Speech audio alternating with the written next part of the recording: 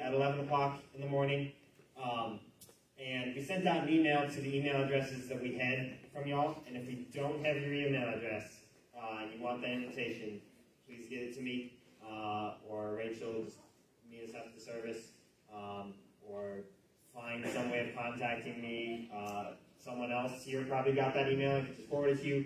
Uh, it'll be a Facebook Live stream, um, and you can watch it from there. Uh, and then later, hopefully, we'll celebrate uh, with you guys more. Uh, but thank you so much for uh, the support in our relationship uh, and just the wisdom. I know from the men's group on Wednesday and stuff like that. Like I really feel that I can go to those guys and ask uh, for help uh, in my relationship because a lot of them have been there. Uh, I think that's true for Rachel as well. we love our church and we want you guys to be part of our relationship. So thank you. Okay, you guys join me in praying. Uh, Father, we thank you uh, for bringing Alex and Rachel together. We thank you for bringing them to Grace Bible Church. And we thank you for what you're doing in their lives and what you're going to do couple in the future. Thank you that you have good plans for them, uh, plans to give them a hope and a future. And we ask, Father, that you would just make your name known through the love that they have for one another. We pray, Father, that you would be glorified in their marriage and that the world would be able to see a picture of Christ and his love for the church in the way that they love one another. And Lord, we know that they probably still uh, have many plans and details to work out.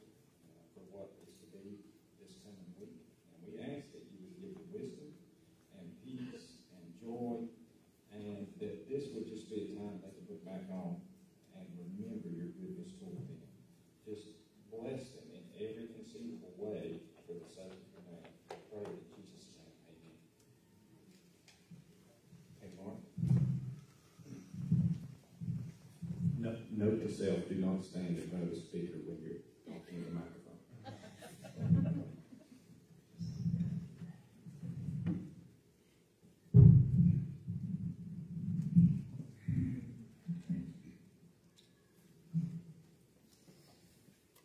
Psalm 103, verses 1 through 4. Bless the Lord, O my soul, and all that is within me, bless his holy name.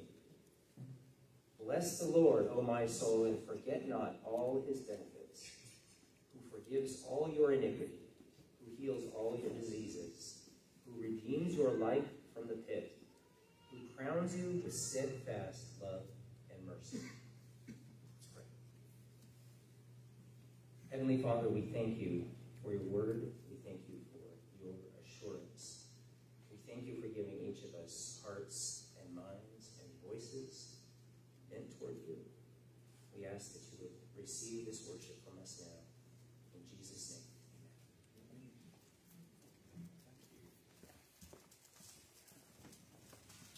amen. Okay, let's stand. We will, uh, our first song is Jerusalem. All of our songs this morning are about one theme, and that is the cross, because next week is Easter, which makes this week the, uh, the cross. Yes. We, we've got songs that are all about what Jesus has done for us at the cross.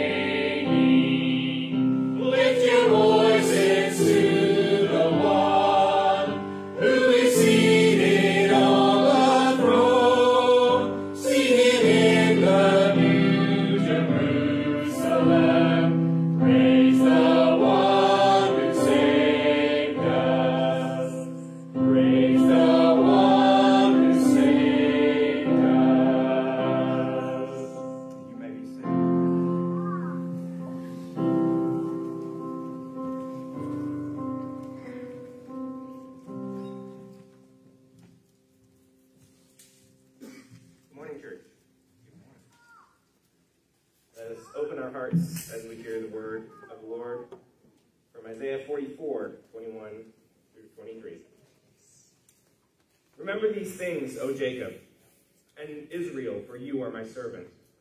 I formed you, you are my servant. O Israel, you will not be forgotten by me. I have blotted out your transgressions like a cloud, and your sins like mist. Return to me, for I have redeemed you. Sing, O heavens, for the Lord has done it. Shout, O deeps of the earth. Break forth into singing, O mountains, O forest, and every tree in it. For the Lord has redeemed Jacob, and will be glorified in Israel. Let's go before the Lord in prayer. Father, I thank you for your continuing grace toward us, that we are able to come and meet here freely, even now. I thank you for your word, that it may still be preached. I thank you for your spirit, that it does not fall on deaf ears and hard hearts. Father God, I pray for the service. I pray that hearts and minds will be changed and that you will be glorified.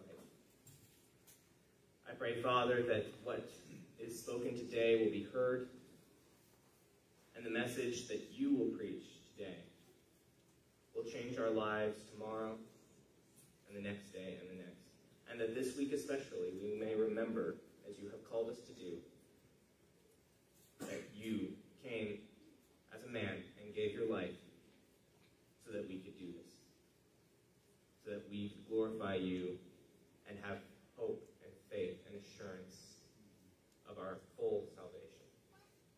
And it is in your name I pray these things.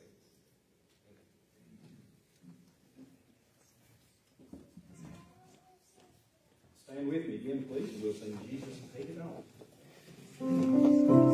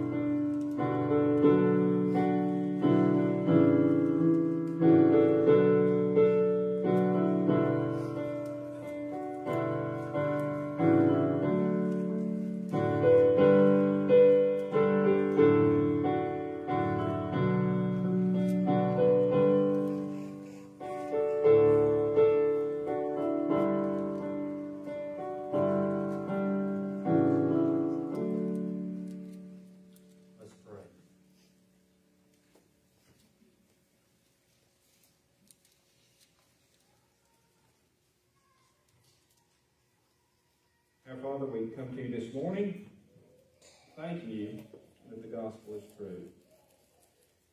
And thanking you, Holy Spirit, that many times as we sing these songs here, that you come to us and with no words, you say to our hearts, Christ died for you.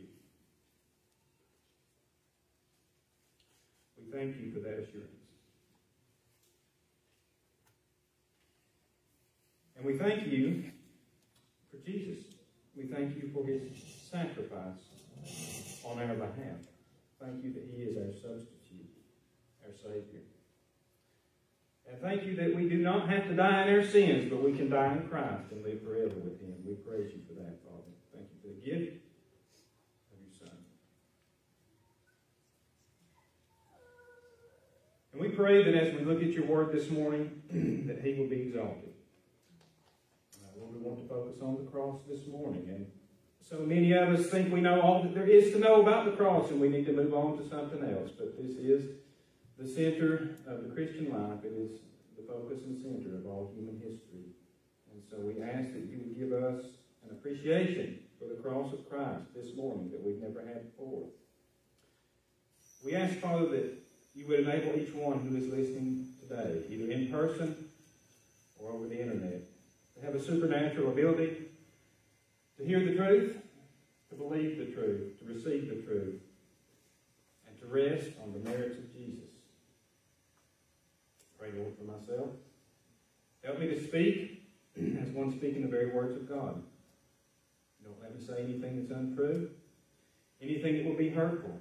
And Lord, I pray uh, that where there are truths in this message that many people have probably never heard before, that they would examine the scriptures to see whether these things are true. And that we would want to know the truth of the Word and not some Americanized version of it. And Father, we just want to ask that you warm our hearts to you and to your Son, to the Holy Spirit during this upcoming week as we anticipate Easter. We pray that you would enable each one of us to draw near to you with a pure heart, a good conscience, and a sincere faith. And that you would touch us and grow us during this Easter season and make us more ready to meet you and more ready to be used by you. Thank you for your great grace, your inestimable love, and your magnanimous mercy. We thank and praise you for the goodness that is you, O God. And we pray that that goodness will be evident as we look at the Word. Amen. And Matthew 26, let's read the first four verses. When Jesus had finished all these sayings, he said to his disciples, You know that after two days the Passover is coming, and the Son of Man will be delivered up to be crucified.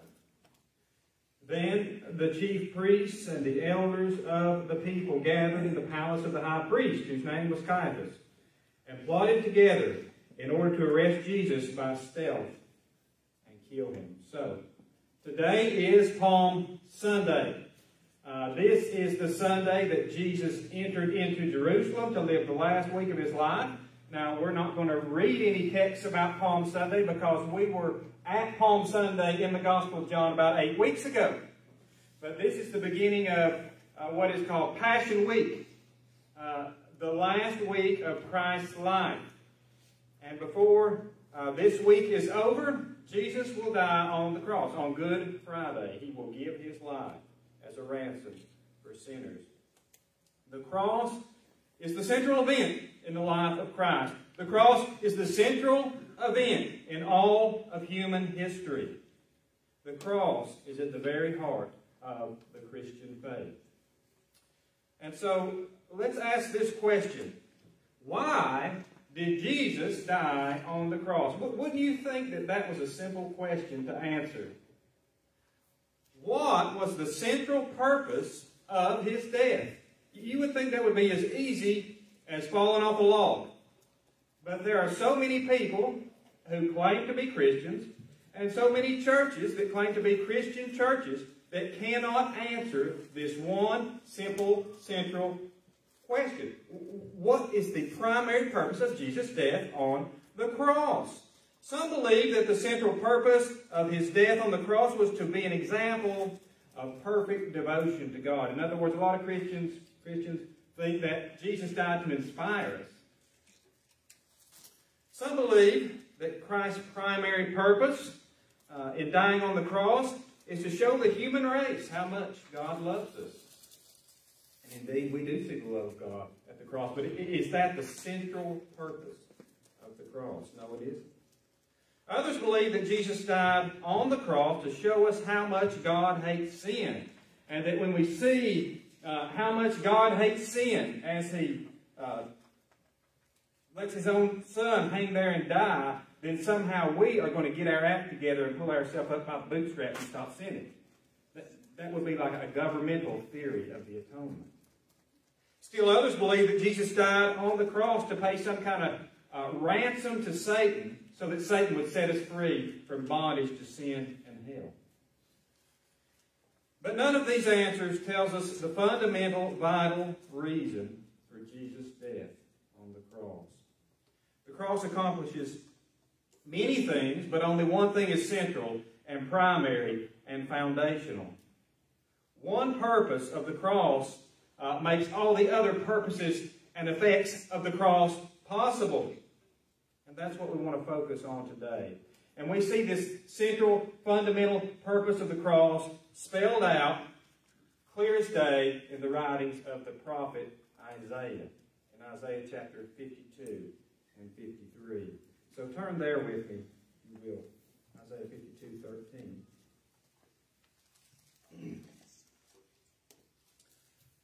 The chapter breaks in the Bible are not inspired, and this is one of the worst ones. uh, don't, don't know why the gentleman that did the chapterizing of the Bible didn't slide the 53 up to 52.13, because it is certainly part of that servant song there. Now, Isaiah wrote these words 700 years before Jesus died on the cross. Uh, if crucifixion did not even exist, it, it, was not even practiced, it was not even known when Isaiah wrote these words. So, let me just speak to you very briefly today. If you're a person who does not believe that the Bible is the inspired Word of God, you tell me how this man wrote this detailed, articulate, uh, descriptive picture of the death of Christ on the cross 700 years before it happened. Can you explain this to me if you don't believe in the inspiration of Scripture? Oh, well, I'm a liberal scholar and I believe that there were two authors of Isaiah, and I believe that one of them wrote uh, the second half of Isaiah 300 years later. Well, explain to me how that dude got it right 400 years before Jesus died on the cross. Okay? This chapter is one of the greatest testimonies to the inspiration of the Word of God that exists in all the Bible. Uh, this is, in my opinion, the greatest chapter in the Old Testament.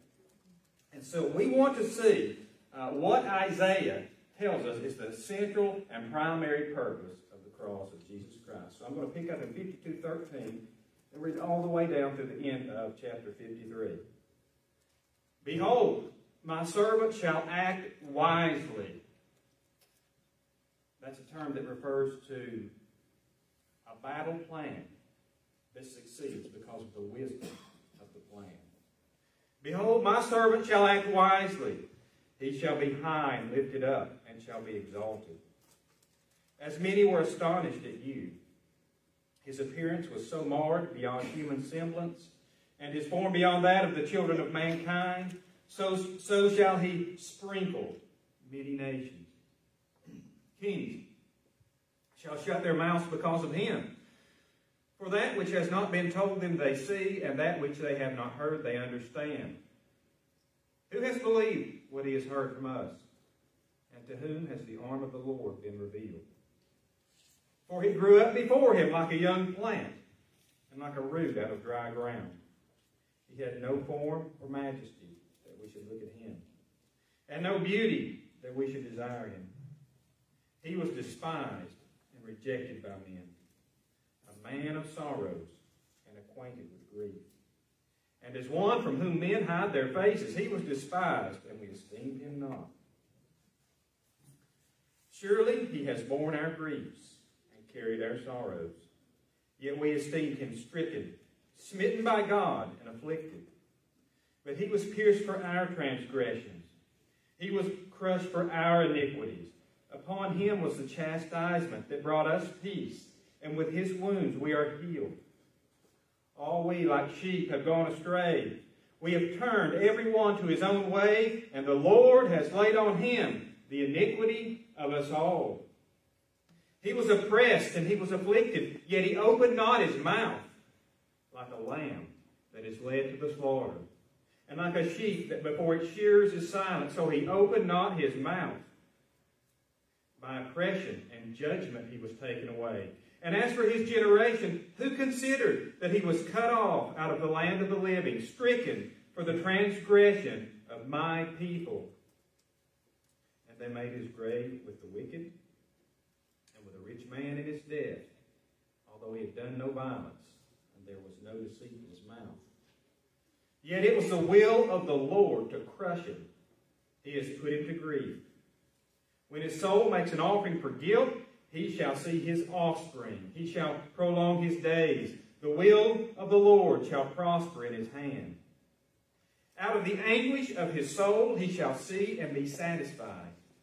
By his knowledge shall the righteous one, my servant, make many to be accounted righteous, and he shall bear their iniquities. Therefore, I will divide him a portion with the many, and he shall divide the spoil with the strong because he poured out his soul to death and was numbered with the transgressors. Yet he bore the sin of many and makes intercession for the transgressors. So, Isaiah tells us what the central purpose of the cross of Christ was. In this servant song, really the, the apex or the central stanza of this servant song is verses 4 through 6. Let me read it to you, uh, emphasizing the pronouns and, and you see, if you can tell me when I'm done reading 4 through 6 again, what the central purpose of the cross is. Verse 4. Surely he has borne our griefs and carried our sorrows. Yet we esteemed him stricken, smitten by God and afflicted. But he was pierced for our transgressions. He was crushed for our iniquities. Upon him was the chastisement that brought us peace. With his wounds we are healed.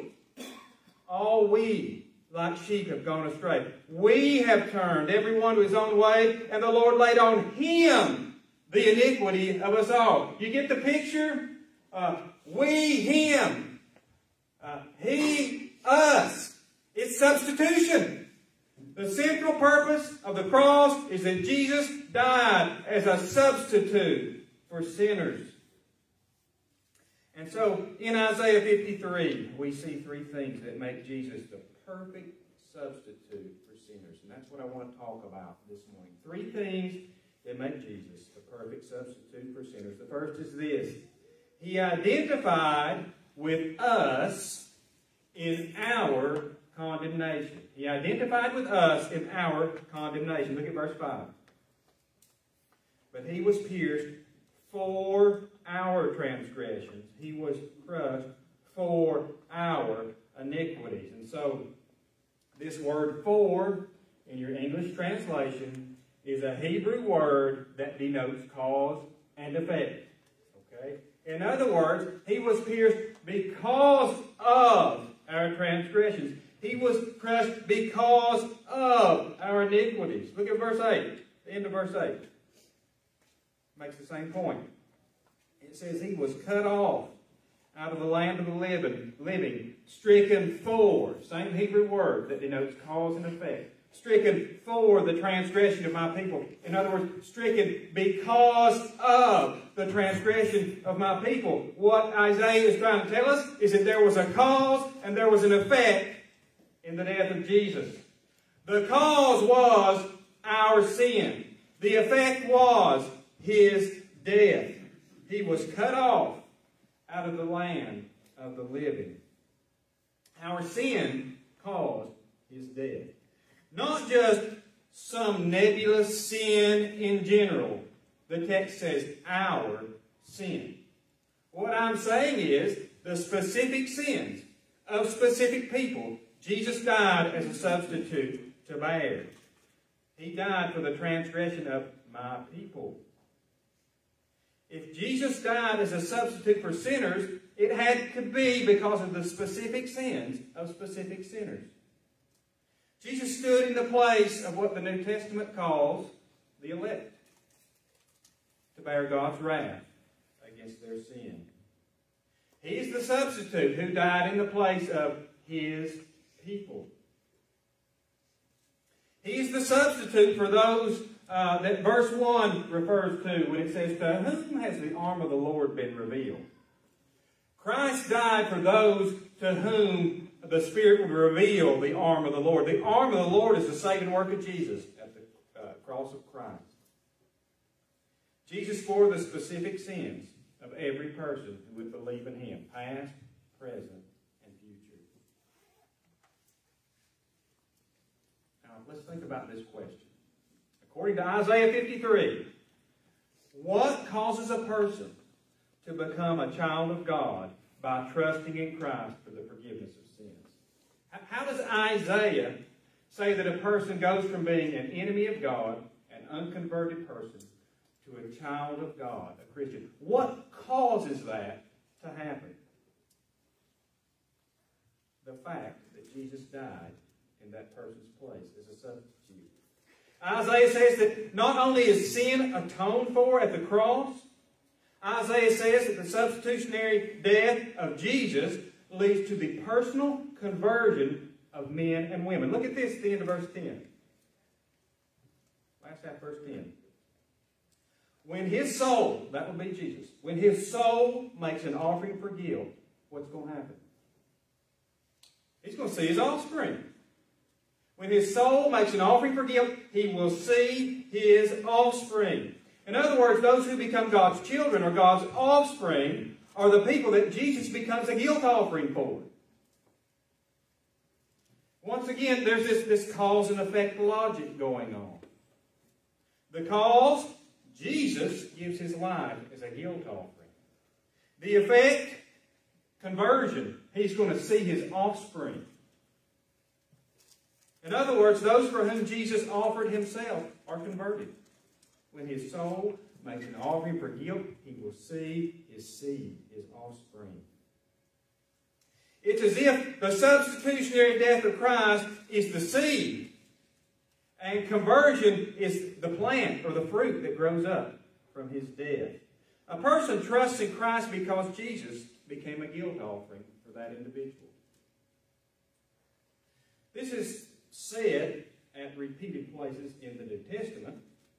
2 Corinthians 5.21 is one of the clearest. 2 Corinthians 5.21, Paul talking to believers in the church at Corinth says, For our sake, for our sake, he made him to be sin who knew no sin. Paul says this to the believers in the church at Galatia in Galatians 3.13. He says, Christ redeemed us from the curse of the law by becoming a curse for us. For us. Paul says, you believers in Corinth, you believers in Galatia, Christ became a curse for us. Christ became sin for us. I want you to think about this, brothers and sisters. Uh, do you often find that your love for the Lord and your zeal to know Him and to make Him known uh, is weak or relatively non existent? Do you want to love Christ more and have more zeal for Him? Then you have to realize that when Christ hung there on the cross, that He identified with you, brother, and you, sister, personally. Personally. That He bore the personal condemnation that you personally deserved for the specific sin that you yourself have personally committed, are committing, and will commit. If you want to have zeal for the Lord Jesus, you must realize that God loves you personally and specifically and individually. Listen to how this awareness of God's personal, specific, sin-bearing, atoning love at the cross fueled the zeal of the Apostle Paul. Listen to this. This is Galatians 2.20. Paul said this. He said, I, I have been crucified with Christ. It is no longer I who live, but Christ lives in me. And the life I now live in the flesh, I live by faith in the Son of God who loved me and gave himself for me. Paul said, I'm living a life of sold out, faith filled zeal for Jesus because I was crucified with him and he gave himself for me, not some nebulous, amorphous blob of unknown people out there. Christ said he died for me.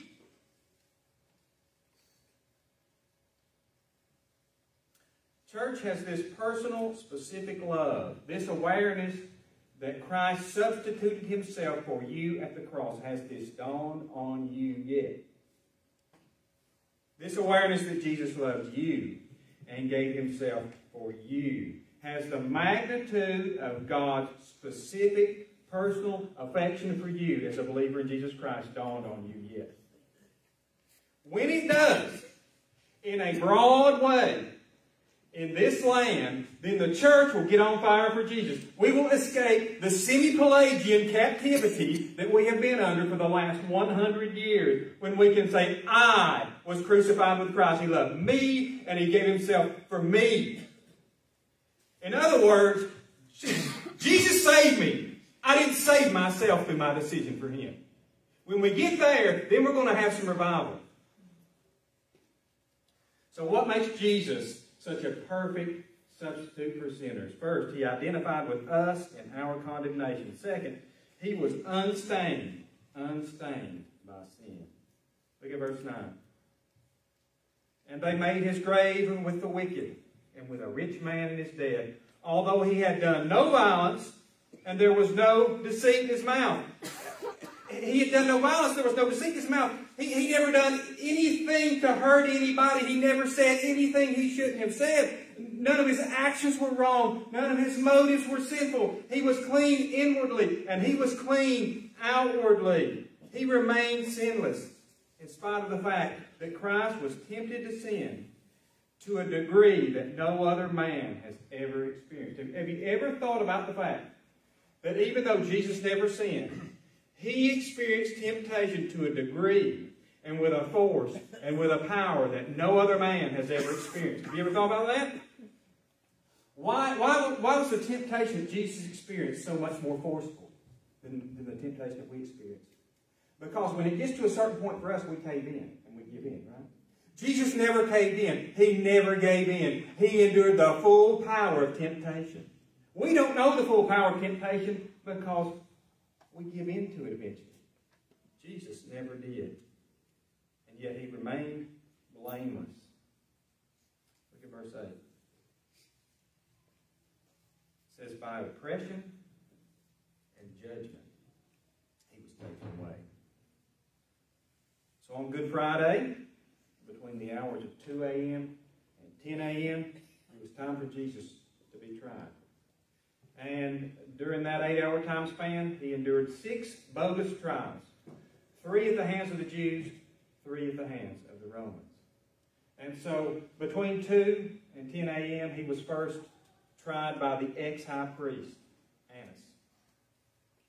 Uh, then he was tried by the current high priest, Caiaphas. Then he was tried by the whole Sanhedrin and found to be a blasphemer worthy of death. Then he was sent to Pilate, and Pilate tried him. Pilate didn't know what to do with him, so he sent him to his buddy Herod. Herod mocked him and made fun of him, questioned him again. And then Herod sent him back to Pilate. And Pilate finally capitulated and gave in to the demands of the Jews and sentenced Jesus to crucifixion. How much self control would it have taken to endure six bogus trials in one night, in a time span of eight hours, and to hold your tongue? To be falsely accused and mocked and stripped and beaten and deprived of the due process of law, and yet he opened not his mouth. In verse 7. He was oppressed and afflicted, yet he opened not his mouth. In spite of enduring the full force of temptation, Jesus never gave in. 1 Peter 2, verses 22 and 23 refer to this uh, portrait that Isaiah gives us of Jesus not opening his mouth. 1 Peter 2.22 says, He committed no sin. Neither was deceit found in his mouth. When he was reviled, he did not revile in return. When he suffered, he did not threaten, but continued entrusting himself to him who judges justly. So Jesus experienced temptation to the point of death, yet he remained without sin. In fact, he was so upright, he was so blameless, he was so sinless, even in the face of obscene cruelty and injustice, that when he said, It is finished, Father, into your hands I commit my spirit, there was a centurion at the foot of the cross watching. Do you remember what he said? Luke 23, 47, the centurion uh, said this, Certainly, this man was innocent. He was innocent.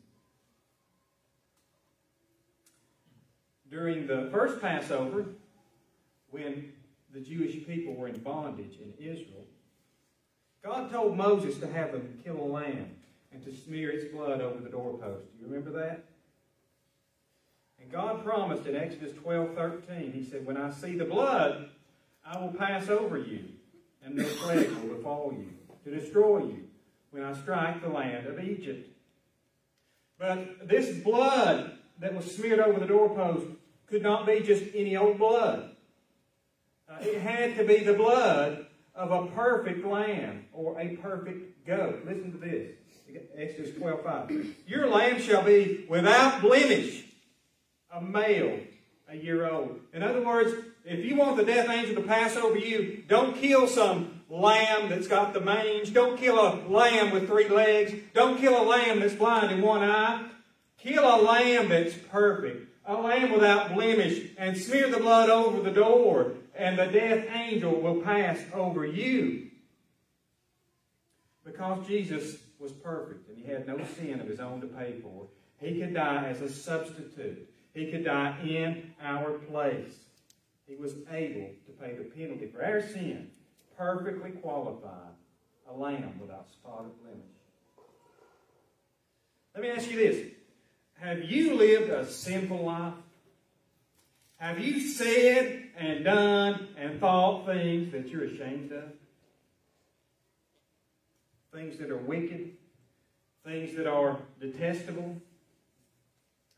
Do you know what would happen if we could plug that computer, computer screen right there into your brain right now and start playing the things that you've thought over the course of the last 20 years in front of everybody in here? Every one of us would get up and leave red faced. We would leave ashamed. Every last one of us. Let me ask you would you like to have a clean conscience? Then trust in the sinless Jesus, and He will make you clean. He will give you a clean conscience. Listen to Hebrews 9.14. How much more will the blood of Christ, who through the eternal Spirit offered Himself without blemish to God, purify our conscience from dead works to serve the living God. If you want to have a clean conscience, look to the Lamb who for sinners was slain without spot or blemish. The gospel is good news because the sinless blood of Jesus will make the vilest, raunchiest, most depraved, wicked, detestable sinner clean. His blood is infinitely potent and infinitely powerful to take away the most despicable sin imaginable because his blood is sinless blood. Well, Jesus is qualified to be this perfect substitute because he identified with us in our condemnation. That was the first thing. Secondly, because he was unstained by sin. And finally, because he is perfectly pleasing to God. Have you ever thought about how pleasing Christ is to the Father? You see, there can be no salvation unless God is satisfied.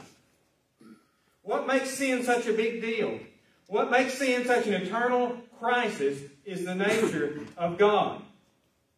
God is many things, but in front of any attribute that you would use to describe God, you better put one word holy. God is holy. His love is holy. It's a holy love. His wrath is holy. It's a holy, holy wrath. His wisdom is holy. It's holy wisdom. His kindness is holy. It's holy kindness. Everything about God is holy. And until His holiness is satisfied, there can be no salvation for sinners. Isaiah tells us that Jesus' substitutionary sacrifice for sinners is perfectly pleasing. It is perfectly acceptable to God. Jesus perfectly satisfies the demands of God's holy justice. Do you see this in verse 10? Look at verse 10. Yet it was the will of the Lord to crush him.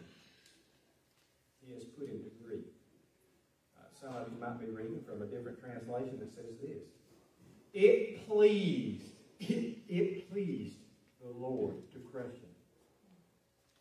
There's even one translation that says it delighted the Lord to crush it.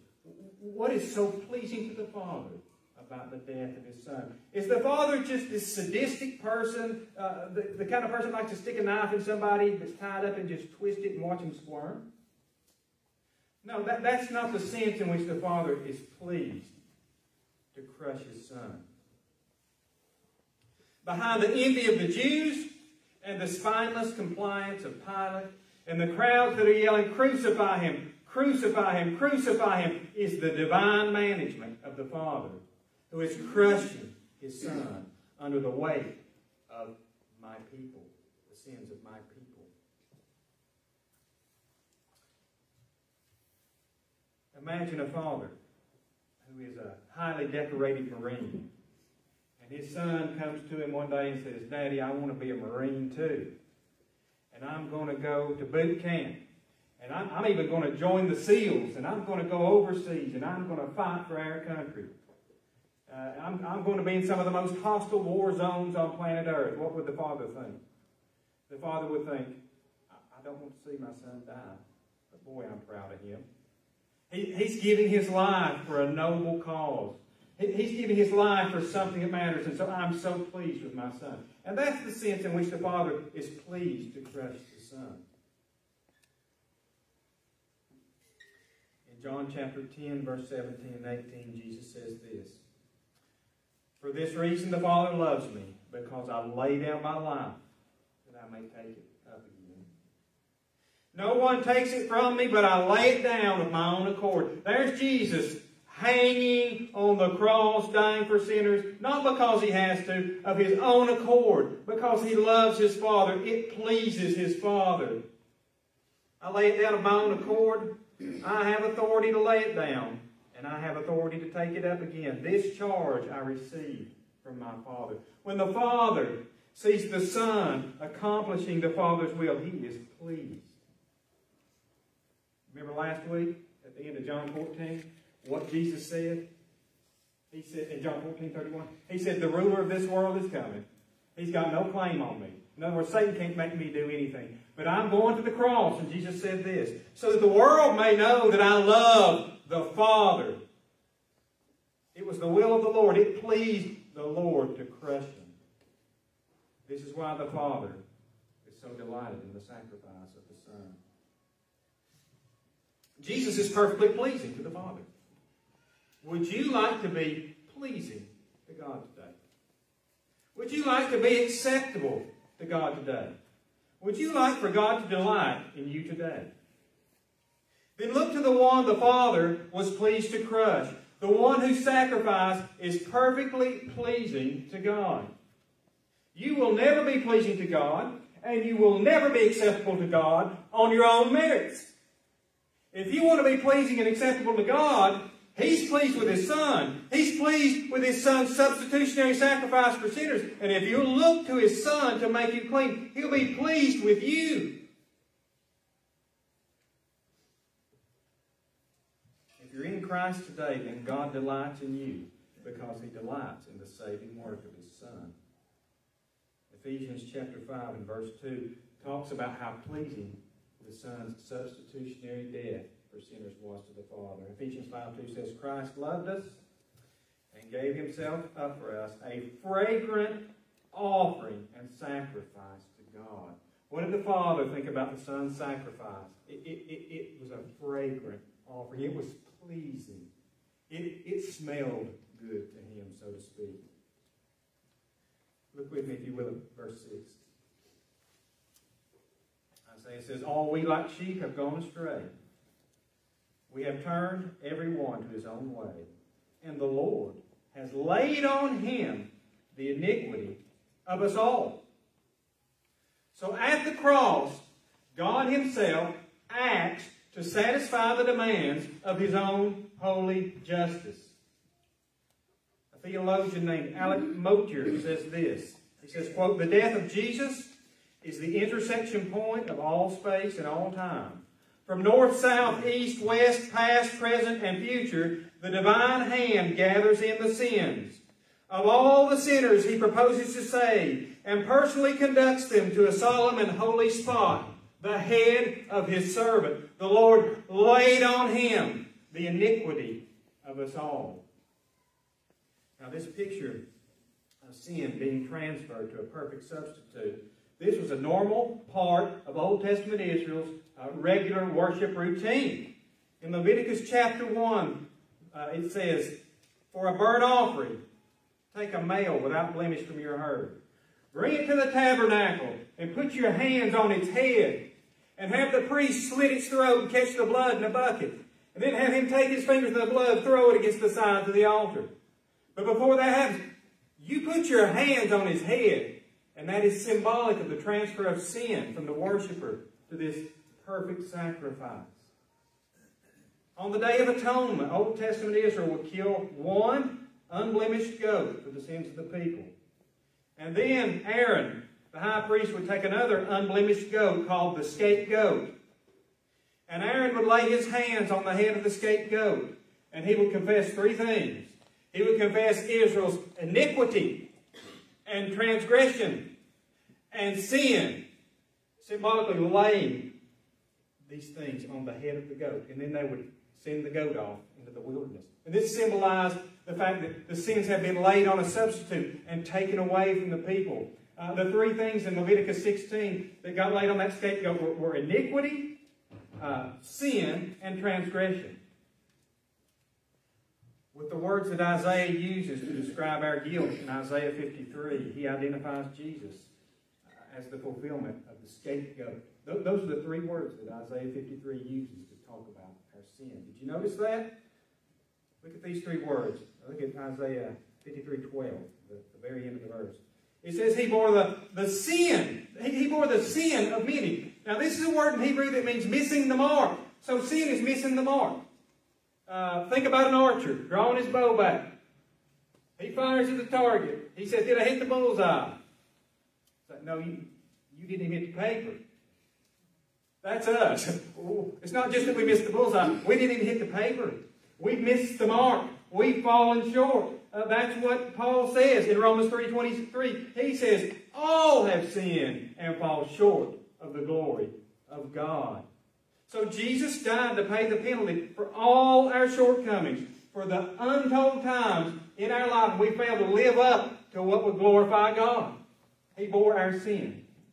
Look at verse 5, second part of the verse. Not only did he bear our sins, says he was crushed for our iniquities. What is iniquity? This is a Hebrew word that means crooked and bent and warped and twisted. Iniquity is the warped human nature that gives rise to all of our wrong thoughts and attitudes and actions. In other words, when it says he was crushed for our iniquity, what it means is Jesus died for our depravity. He died for our depravity. He was crushed not just for the wrong things that we've done, but for the warped, crooked, perverted people that we are.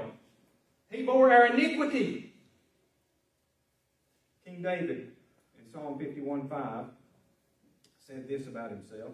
He said, Behold, I was brought forth in iniquity, and in sin did my mother conceive me. In other words, King David said, I was born a crooked stick.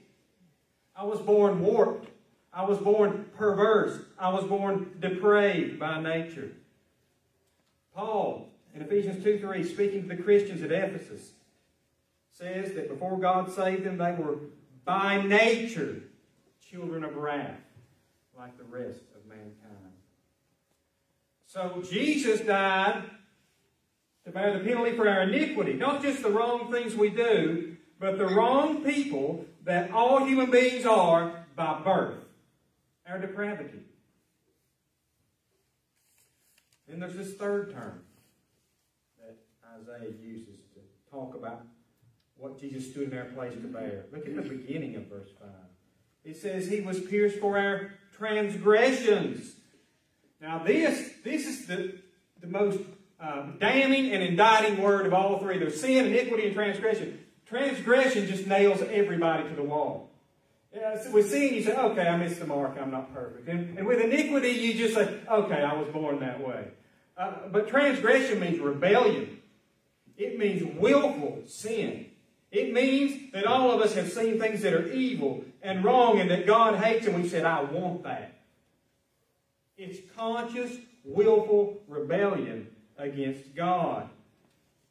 This word transgressions highlights the fact that on more occasions than we can count, we were presented with a choice, and we consciously and deliberately chose the path of willful rebellion. In other words, uh, times without measure, we have sinned not because somebody made us or because we were born that way, but because we wanted to.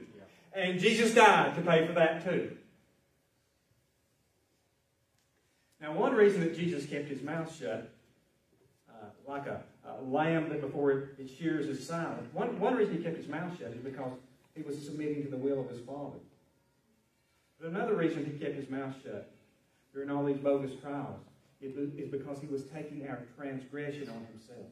Our willful rebellion. That sin for which there is no excuse.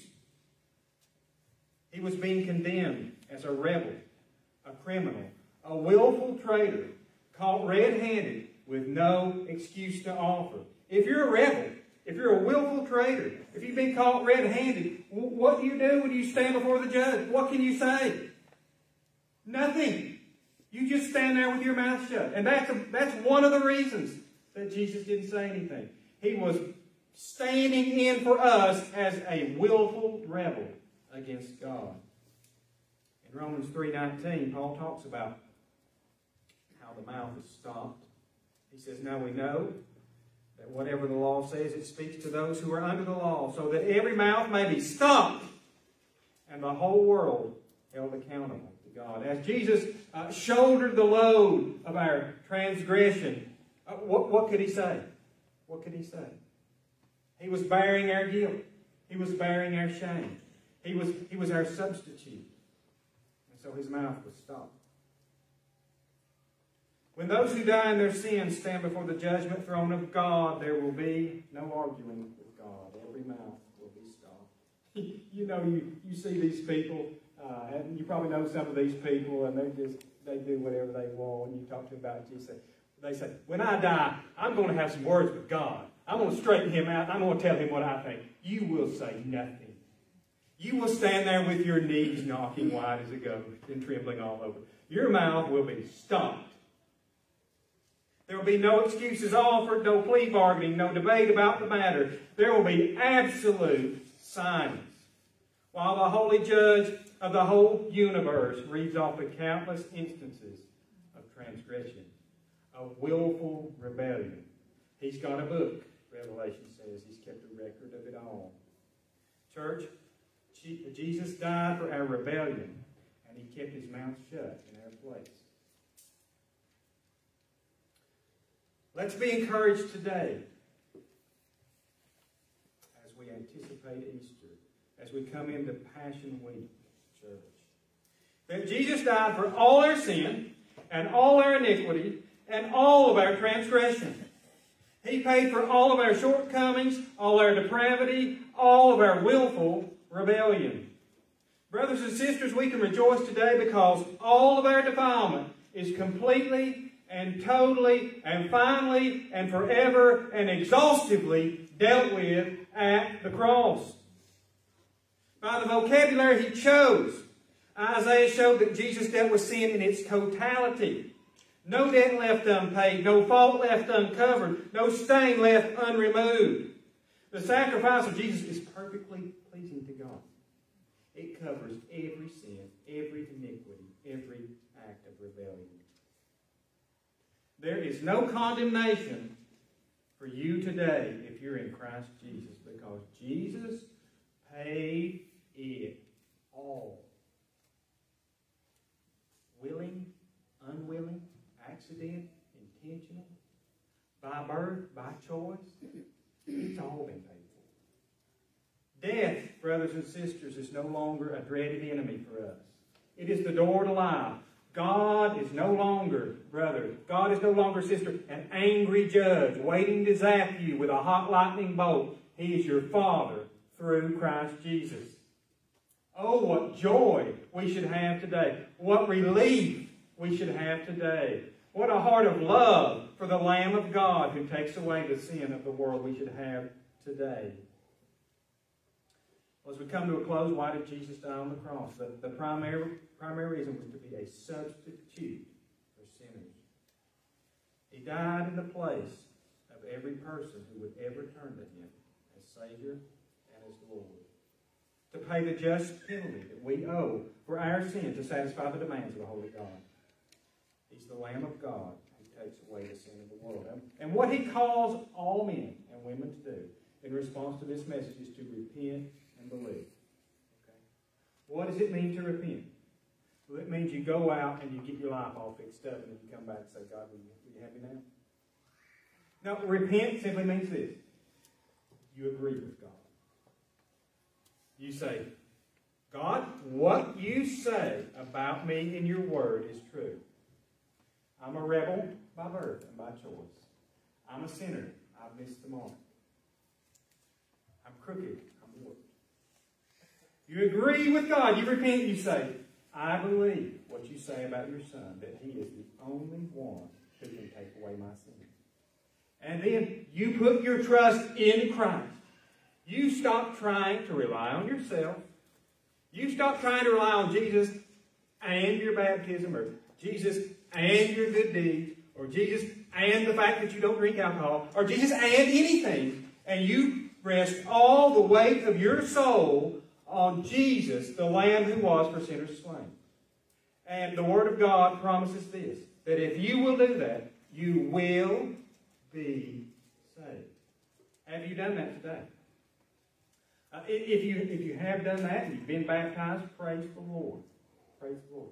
If you have done that and you have not been baptized, Jesus calls you to be baptized in order to proclaim to the world that you belong to Him and that He saves your soul.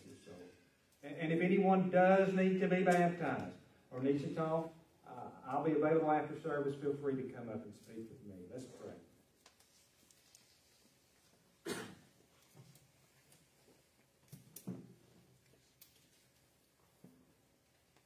Father, we thank you for Jesus,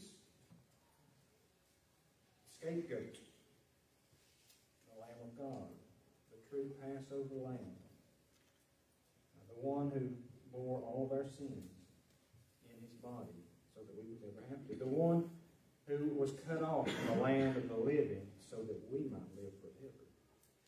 We pray, Father, that the message of the cross would never get old and boring and trite to us, and that we wouldn't be the kind of people who want to hear the pastor talk about 10 steps to successful business and five steps to losing some weight. Lord, help us to love the word of the cross. It's foolishness to those who are perishing, but to us who are being saved, is the power of God. We thank you that we don't have to die in our sin. And we're thankful that these things are the one true truth in all the world. And we ask that you would seal them in our hearts even now. Amen. I'm going to let Ivy play a couple verses. We'll just pray during that time, and then we'll take come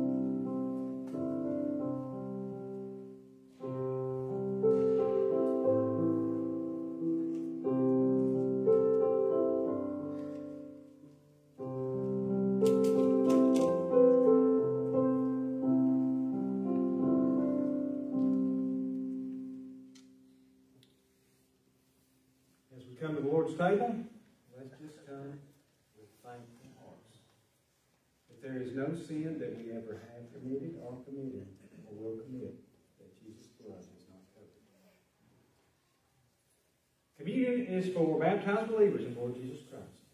If that's not you, do not come and take communion. Because if you do, you're mocking God. And Paul says in 1 Corinthians that you're eating and drinking judgment to yourself if you do that. After you receive the elements, hold them, and we'll all partake together. And Lee, if you and Alex would come and serve us.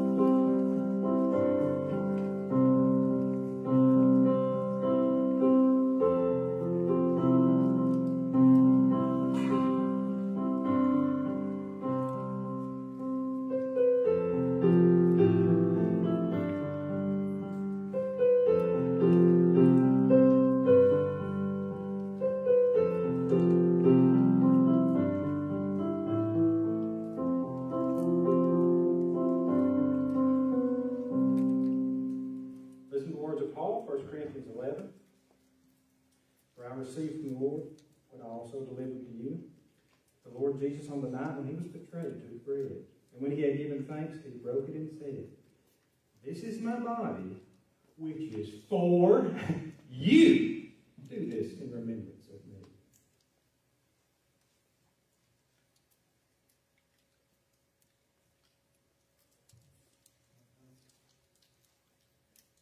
Before we, before we take the cup, let me ask you this question before I read the scripture. What does the new covenant promise? I'll give them a heart of flesh, and I'll write my law on their hearts. Now listen to this. In the same way also he took the cup after supper, saying, This cup is the new covenant in my blood. Do this as often as you drink it in remembrance of me. Amen. Let's stand and sing Jerusalem.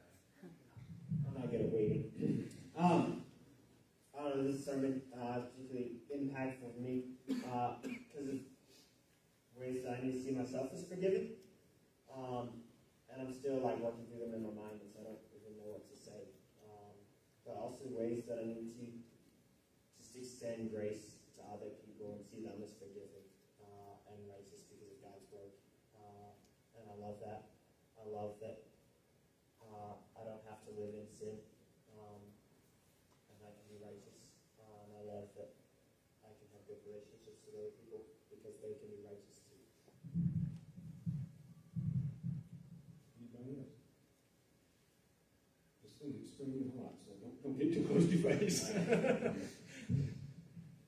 Uh, just, just a verse that uh, came to my mind as I was listening to the sermon. Uh, 2 Corinthians 5, 17, 18, and 19. Therefore, if anyone is in Christ, he is a new creation. The old has passed away, behold, the new has come. All this is from God, who through Christ reconciled us to himself and gave us the ministry of reconciliation. That is, in Christ, God was reconciling the world to himself, not counting their trespasses against him, and entrusting to us the message of reconciliation. Easter is a time where we remember what we have from God, but that, that remembering, that message, shouldn't us. Would be a, a worse crime, I think, than any sin we could commit, to let this grace, to let this glorious forgiveness stay with us. We have been entrusted the message of reconciliation, and I think it is our duty to God to take it to others. So I'd like to just encourage everyone here, if you know just a single person who, who would be inclined, invite them to church this Easter. It's, it's one of the few times of the year where people come willingly to church, and in this time in particular, likely no one's going to be inclined to come. But it, it is the glory that we have to share. So I encourage you to, to invite someone. Just